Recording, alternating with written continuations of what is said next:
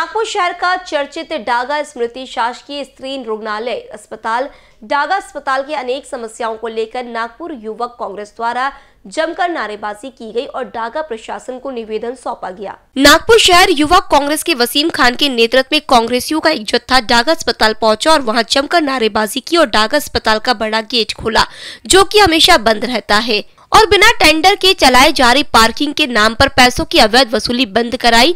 इस आंदोलन के माध्यम से वसीम खान ने अपने साथियों के साथ मिलकर शासकीय माहिती अधिकारी डॉक्टर संध्या डांगे को निवेदन दिया और कहा कि डागा अस्पताल का बड़ा गेट 24 घंटे खुला रखें।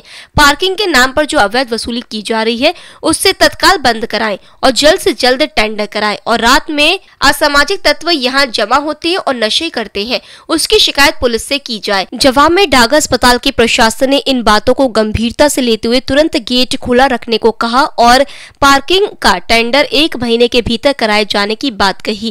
इस मौके पर कांग्रेस के सचिव राजा काका चिलाटे, रवि गौर, आसिफ शेख, ब्लॉक अध्यक्ष गोपाल पट्ट, विजय साकरे अक्षय डॉलिरकर, दानिश बाबा फिरोज खान, अंकित घुमगावकर अली काशन कुरेशी, सलमान सागर, जिशान व आदि उपस्थित थे।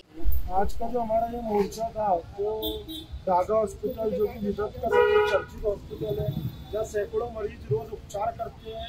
यहाँ पे जो इसके दो गेट, एक छोटा, एक बड़ा। तो ये बड़ा गेट हमेशा बंद रहता था। अभी हमने निवेदन दिया और नारेबाजी कर कर यहाँ खुद ही खेला है। और हमारा निवेदन था कि ये गेट 24 घंटे खुला रहना चाहिए। कैमरा पर्सन राजकुमार मोहर के साथ क्षितिजा देशमुख बीसीएन न्यूज़ नागपुर।